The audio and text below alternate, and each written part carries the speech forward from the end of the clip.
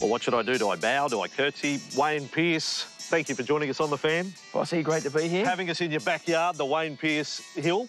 Yes, it's. Um, I've been manicuring it very well over the years, haven't I? It's not a bad backyard. So people don't realise on non-game days you're actually here having family barbecues, and just hanging all around. that, all that sort of stuff. Yeah. I want to talk the local hero story through.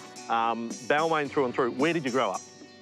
Uh, well, actually, I was born in Balmain Hospital and I lived in East Balmain, in 10 Duke Place, East Balmain. Um, Messenger spent some time apparently in Duke Street, which is the next street.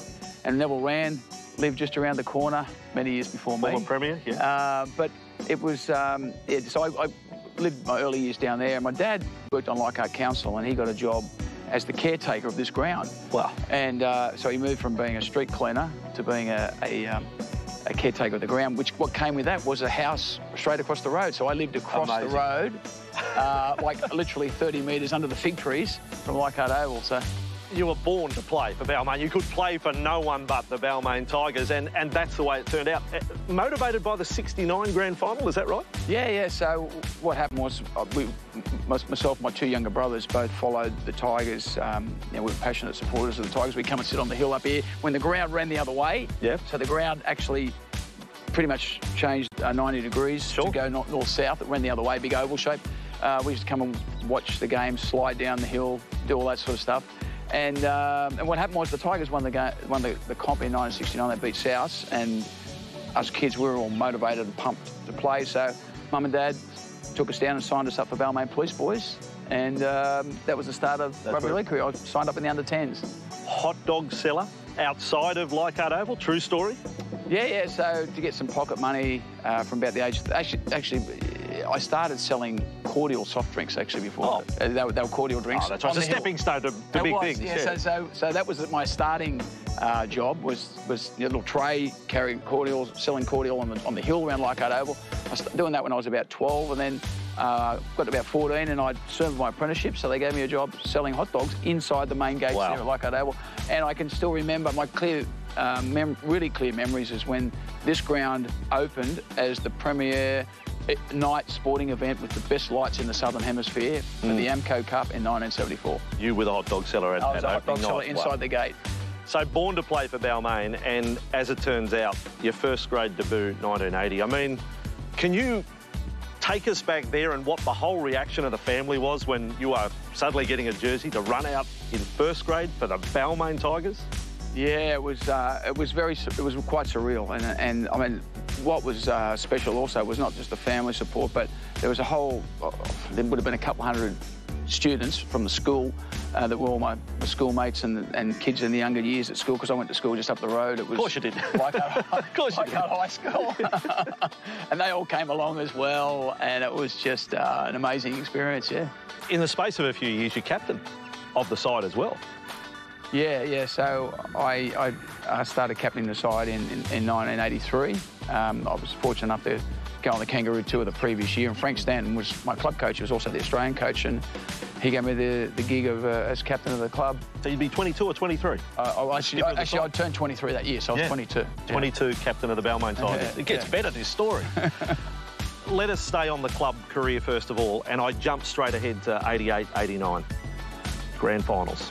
Yeah, you had to do that, didn't you? Yeah, well, God, I was having a good day, beautiful sunny day at Leichhardt Oval, and you go and talk about 88, well, 89. well, in all honesty, hand on heart, how torn are you by that? Do, do, like, do you wake up in cold sweats at night? Have you, have you moved on? I moved on. Yes. I moved on. I, actually, to be honest, um, it, it, was never, the closure came around about, uh, I think it was actually 2005 when the Tigers were in the grand final, West Tigers were in the grand final. And uh, News Limited had this idea, well, we get the guys from the 89 side together to go and watch the game at, at a studio that they that they'd hired, uh, and we watched, we all watched the game together. And It was sort of like therapy, really. Yeah. We sort of talked through it and some of the moments in the game that went our way. Some some moments didn't go our way, and that was the, probably the, the point where we were able to put it to bed. Uh, but um, it was yeah, it was just missed opportunities. Younger viewers right now know of this guy, Wayne Pearce, and those that come to the ground, there's the Wayne Pearce Hill. He's one of the greats of the game. He's a Hall of Famer. Um, and the local hero story. But if they just looked at stats, they only see, and when I say only, because the, the, the club greats these days play 250, 300, 350, bordering on 400 games. Your career is 193 first grade matches. Um, first of all, we need to make the point you retired at age 30. That's very young. It was, it was. So I had a, that was my 11th season. So I started playing at the age of 19 in first grade. Um, but, but, but I played. I, am not a big guy. Uh, I played above my weight. Probably shouldn't have played really. Really, I was probably too small to play, but I managed to get there. And um, because I played above my weight and played a pretty physical game, my, my body pretty much wore out. Um, my knee joints actually um, really wore out, and um, that's why I had to, to, give the game away. In fact, the last year that I played, I, I only I only played every second game. It was um, to, I had to get my body right. There were also some some pretty scary moments in your career with eye injuries, serious eye injuries, a couple of times. Um, that is it fair to say could have ended your rugby league career? Yeah, well, my, my rugby league career nearly ended after the first season. So, in a trial game in 1981 against Cronulla. Um, uh, I put a bit of a, step on, which was unusual for me. Probably surprised okay. the guy who was tackling me, who was Gavin Miller, and he stuck his arm out and it caught my eye, and I detached the retina in my eye, and um, it was it was pretty scary because I I didn't know whether. Well, firstly, when I went down to the ground, I couldn't see it. My eyes was just pitch black, and then the trainer came on, and the trainer said, "Uh oh, shit," and I thought there's a bit of something going on here, and then he called the doctor on, and then went straight to hospital, and I had to lie there for 48 hours with double iPads on mm. to, to try and let the blood clear because they couldn't see through the eye right, to see whether or not there was damage to the retina. So I've got my fingers crossed for two days because they said, you know, we may need to operate and then when the blood cleared and they could have a look through and see the retina, they said, you've got a detached retina, so we have to operate. So they, they operate on the eye and at that stage I wasn't sure whether I was going to be able to play or not again. Uh, but I had a, an excellent surgeon and, and um, he did an amazing job on the eye. Always blurred, so I, I'm blurred in this eye. Yeah. So that was always a challenge trying to catch high balls or balls coming from that side. Um, I dropped quite a few in my career because it was just blurred. Yeah. Nothing I could do about it. But uh, but that was it. Anyhow, but uh, ended up playing many years after that. Let's talk representative football. First of all, New South Wales. Um, you can never change your first. You, you are the captain of the first clean sweep series won by New South Wales. Happy happy memories? Fantastic memories. You know, I, I mean, it was the, the, two really standouts in state of origin was I was I was uh, in the team and vice captain the previous year when Stevie Mortimer was captain, yeah. and we won the series 85. for the first time. That was '85, and then uh, Steve retired, and I was given the gig as the captain, and um, we ended up winning the series 3-0. But it was really close. Like it was, I think, four points, four points, two points, or something in the three games. But it could have gone either way, all the games. But we ended up winning 3-0, and it was uh, it was fantastic uh, feeling to, to have won that series after having been on the back foot for so many years with State of Origin. Test football, representing your country, it's the triple A, it's the Kangaroo Tour. 82 is when you make your breakthrough, and the Kangaroos go on to win every game. Like, how, how, much better could it get? Well, and you play it, every test. Well, I didn't. To be honest, I didn't think I, I was going to get picked because um, you know you had Ray Price, who was the, who was the top lock there. There was a lot of other good good players in line, and um, I had my, my, ticket booked to Hawaii. I'd never been to Hawaii before, so end of season trip was to Hawaii. Uh, so I had my, my, my, paid all my, my money for the flights and, and, accommodation, all that sort of stuff, and and on the night that night uh, of the grand final, because that's when they announced the teams, our reserve grade team had won the grand final, so we were at, at, at Balmain Leagues Club celebrating that achievement, and um, it was a great night. And then Frank Stanton who was the club coach, my club coach at the Tigers, also the Australian coach, who didn't give me any insights that I might have been a chance. Leading up to that, came over and tapped me on the shoulder and said, "You're on the Kangaroo Tour." Wow! I nearly fainted, and um, it was an amazing experience to to go on that tour because that's the first time that uh, a, tour had gone through and, and been undefeated as well. Now, all through your career, reputation um, ahead of your time as a trainer, nutrition, physical fitness. Never drink? No, no. Not a drop? no, I um, I never drank, never drunk alcohol in my life. No. There you go. I um, the thing is, in, terms of my my size, I mean, I, I, wasn't a big guy, so I had to try and get an edge on the on the players somehow. So, for me, you know, I was all about the one percenters. It was about where could I squeeze a little bit of extra out of myself in in physical sense, in a preparation sense, with diet, with with the mind. Uh, I worked overtime uh, in terms of trying to develop skills. Um, but for me, that was that was where I, I saw my competitive advantage was in that in preparation. In modern day context, we can make a reference to your son Mitchell.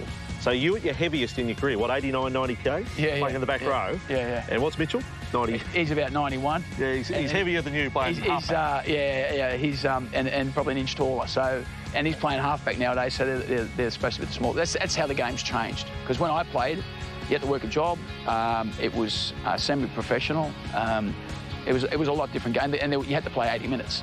So the big guys, the bigger guys, like the biggest guys around then, were probably on my team. You know, sort of Steve Roach and, and Paul Sironen amongst the biggest in the game, and and um, but they were 80-minute players.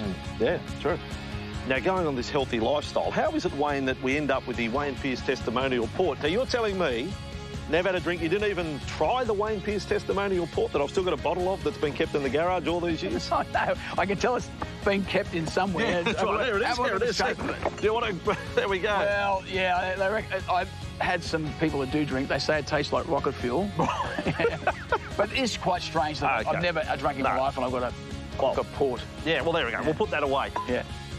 A proud father sits beside me right now. For everything you achieved in rugby league, you are now living another life. Um, watching your son, your son Mitchell, uh, and, and play at at Origin level, first grade level. What's it like?